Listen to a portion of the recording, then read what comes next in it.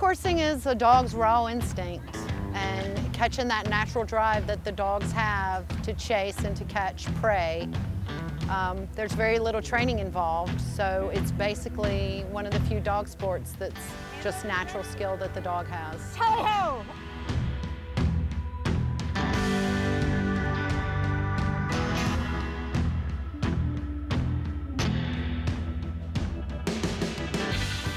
A lot of people start out in their own backyard with what's called a flirt pole, which is basically like a long stick with a string with a baggie tied to the end. And you're just kind of whipping it around, getting the dog focused on it, getting them to chase it. You can spin in a circle and get them to chase it there.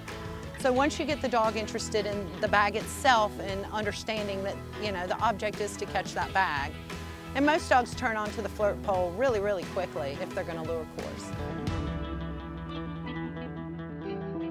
And then once you get them good on a flirt pole, you come out here and we do practice runs um, and start getting them into it. And some people, you know, go ahead and enter and feel confident about it and come out here and several of the dogs that, you know, came out here today that had never run and ran beautifully. And it was awesome to see because like I said, it is a lot of natural instinct.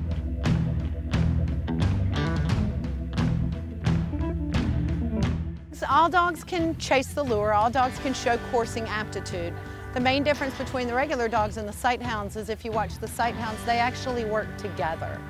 And they're very aware of each other and trying to work as a team or as a, as a trio to kind of catch the lure. And there's a little bit more seriousness in the dogs to it as far as it really is prey and they really are studying it. They're doing a little bit more hunting where a lot of the, the other breeds are kind of chasing. So there's, there's a definite skill level difference in the dogs because it's what the sight hounds are bred to do. Handler, tally-ho! I'm judging these dogs on their drive to, to chase it around the course and to complete the course without interruption. And that's what I'm judging in coursing aptitude. When I'm judging the sight hounds, I'm judging their agility, I'm judging their follow, you know, how well they, they visually keep with the lure. I'm judging them on speed, I'm judging them on endurance. Each breed is bred to hunt, each of the sighthound breeds is bred to hunt a little differently.